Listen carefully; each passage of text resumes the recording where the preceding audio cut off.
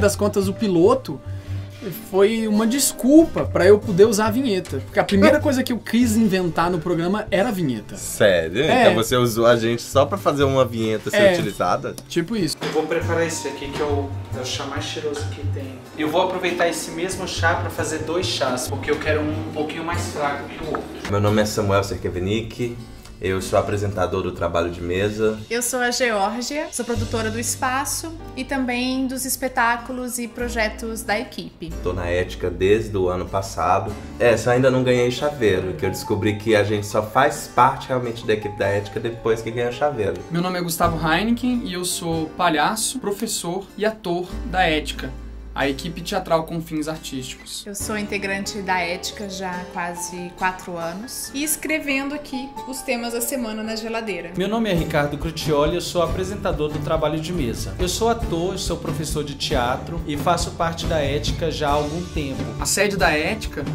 ela funciona como um centro cultural, assim. Ela tem um teatro de bolso chama Sala Tchakovat, que é em homenagem a um palhaço argentino. Tem um estúdio de gravação musical e é um centro de pesquisa, trabalho e elaboração de projetos tanto nossos como de outros grupos, porque a gente também cede e aluga o espaço da Ética para outros grupos aqui da cidade. No trabalho de mesa a gente acaba todo mundo fazendo um pouco. Isso é uma das características é, de trabalho do Gustavo. Não é uma característica só do programa.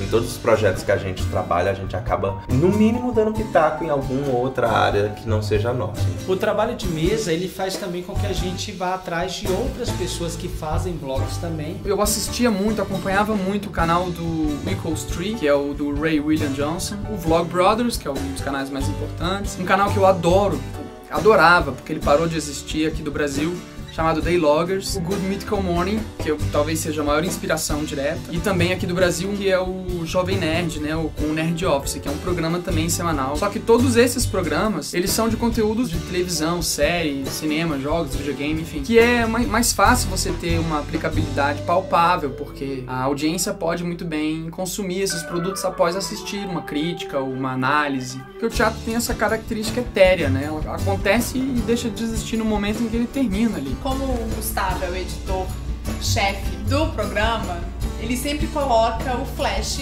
nos agradecimentos dos vídeos. O único vídeo que não tem a citação ao flash foi o vídeo que nós editamos quando ele estava viajando. Foi sobre que foi uma loucura teatro. pra ele poder editar. E a gente fez uma homenagem ao Lanterna Verde, porque eu gosto do Lanterna Verde. Eu também gosto do Lanterna A Verde. gente quis revolucionar. Eu, inclusive, tenho um anel do Lanterna Verde. É. Tanto que eu gosto do Verde. Ele é envolvido nas causas LGBT.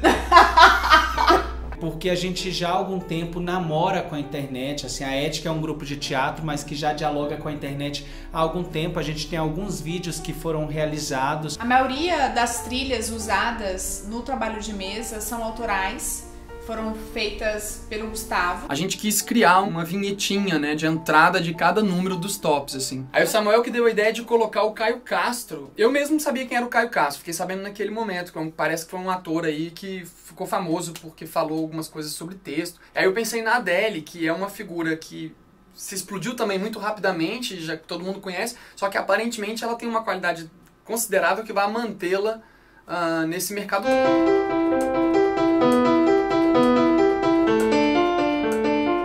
fosse, tipo, muito idiota, mas que na verdade fizesse uma referência à Adele mesmo, sabe?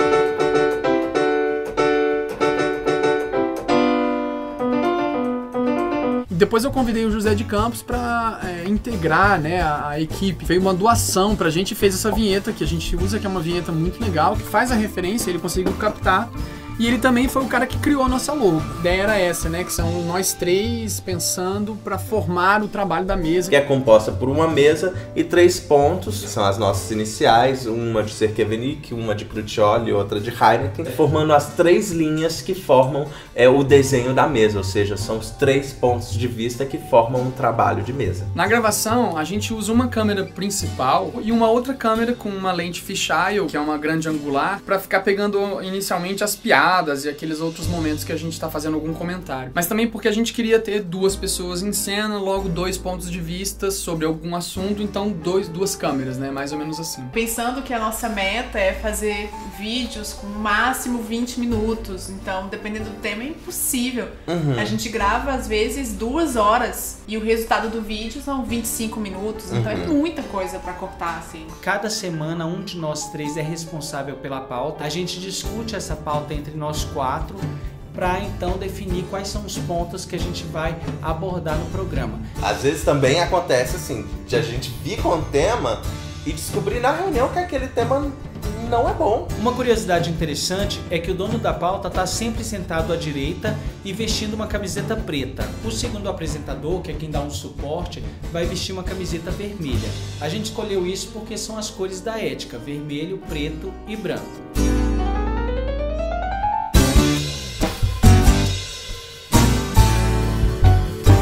Traz a pauta é também o responsável pelo vídeo. Ele vai ser meio que o dono do vídeo daquela semana. A gente sempre escreve o tema da semana na porta da nossa geladeira. Foi uma ideia que surgiu do nada. Um dia a gente tava aqui, ah, vamos escrever o tema, a gente tem um quadro na na nossa sala de aula. Só que ao invés de ir pro quadro, o Gustavo viu a geladeira e falou, ah, vamos fazer na geladeira. A geladeira já está manchada de azul, de preto, de tanto a gente escreve e apaga. A gente gostaria muito de pedir que vocês doassem ímãs de geladeira. Eu não quero imã não, eu quero uma geladeira nova.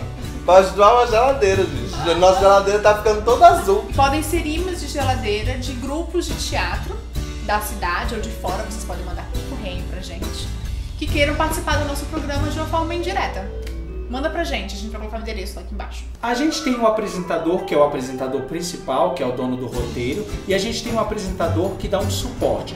Então, numa semana vai ser Samuel e Ricardo, na outra semana Ricardo e Heineken, na terceira semana Heineken e Samuel. Se vocês forem assistir os vídeos do vlog da Ética, vocês vão encontrar algum trecho que seja de alguma música do Led Zeppelin. É a banda tema da Ética. Sempre que eu pego o violão assim, eu sempre acho que eu vou fazer um- uma foto de disco solo.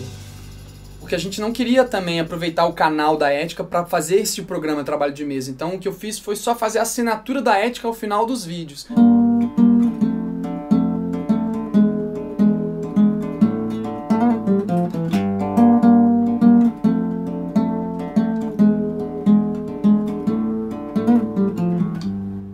Parece o Tim Burton, não parece? Mas a gente tem muita vontade de criar. Na verdade, eu acho até que o Gustavo já tem em mente o que ele quer fazer. Inclusive, BC vai precisar de você.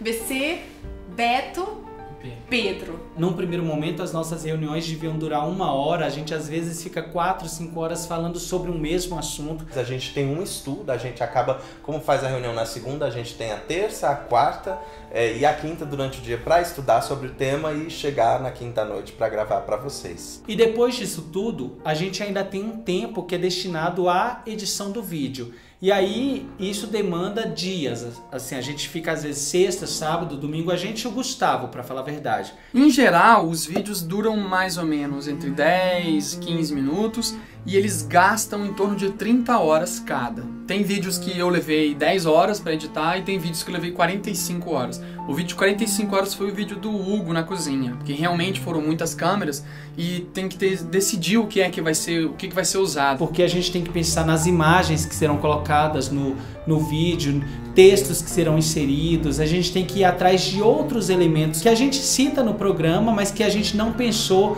numa reunião de pauta durante a gravação, porque tem muitas coisas que vão acontecendo ali naquele momento, que vão surgindo e a gente acaba tendo que colocar para vocês. Na internet você tem milhares de canais, milhares de programas, né? Mas tem muito pouca coisa sobre teatro, assim.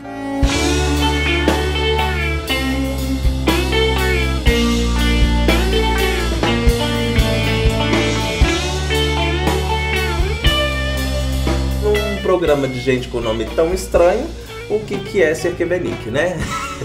A gente, a cada vídeo, aprende um monte de coisas ou renova o nosso conhecimento. E a microfonação a gente usa um boom shotgun do, do próprio gravador digital e um microfone condensador. E o Gustavo sempre teve uma vontade muito grande de que a equipe trabalhasse juntamente com ele na realização do vlog. E eu acabei sugerindo, na verdade, que ele continuasse sozinho no vlog falando sobre temas nerds, porque afinal de contas ele é nerd. Embora ele fale que não, ele é nerd. E a prova é que o programa foi estreado no dia 25 de maio, que é o dia da toalha. Bom, quanto tempo que o Vlog da Ética existe? Cinco anos, né? É, o Vlog da Ética, eles já... já o vlog... É, eu não sei fazer, fazer, fazer, você tem que fazer parte do roteiro. fazer um vlog sobre teatro. Afinal de contas, nós somos uma equipe de teatro. E se o tema principal do nosso vlog fosse aquilo que nós estudamos e trabalhamos com, a equipe poderia então trabalhar junta na realização desse programa. Uma reunião com o convidado para apresentar essa pauta e a gente poder discutir com ele. A gente tava falando no top, nos tops. Nos tops, caceta, tô, tá, tá foda, tá foda. Eles fizeram a- o Gustavo e a Georgia é, juntos. Ai, que bus... Parou, eu não sei o que falar. Não sei nem por que, que eu tô falando isso tudo.